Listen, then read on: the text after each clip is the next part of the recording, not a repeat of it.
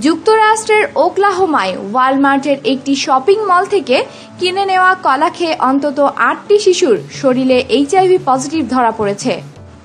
ওকলাহোমার টুলসা এলাকায় দশ বছরের একটি ছেলে এই ভাইরাসে আক্রান্ত বলে প্রথমে ধরা পড়ে। ওয়ালমার্ট থেকে শিশুটির মা কলা কিনে নিলে তা খাওয়ার পর সে অসুস্থ হয়ে পড়ে। প্রচণ্ড জ্বর, শীত ও শরীর অবসন্ন হয়ে পড়ে তার। দ্রুত তাকে হাসপাতালে নেওয়া হয়। সেখানে সব ধরনের পরীক্ষা নিরীক্ষা করে তার শরীরে এইচআইভি ভাইরাস ধরা পড়ে। এতে অবাক হয়ে যান চিকিৎসকরাও।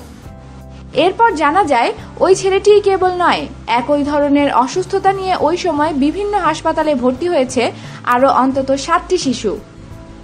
যাদের বয়স সতেরো বছরের নিচে এবং প্রত্যেকেরই পরীক্ষায় এইচআইভি পজিটিভ ধরা পড়েছে। আর এই শিশুদের পরিবারের প্রত্যেকের ক্ষেত্রেই একটি বিষয় সাধারণ ছিল। তা হচ্ছে, তারা ওকলাহোমার টুলসা ওয়ালমার্ট থেকে কলা কিনেছিল।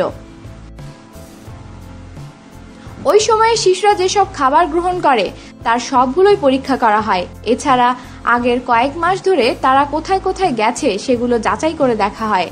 আর পরে জানা যায়, সবাই ওই একই সুপার স্টোর থেকে কলা কিনে খেয়েছে। এরপর পরীক্ষা করা হয় ওই স্টোরের কলা। আর তাতেই ধরা পড়ে এইচআইভি ভাইরাসের অস্তিত্ব।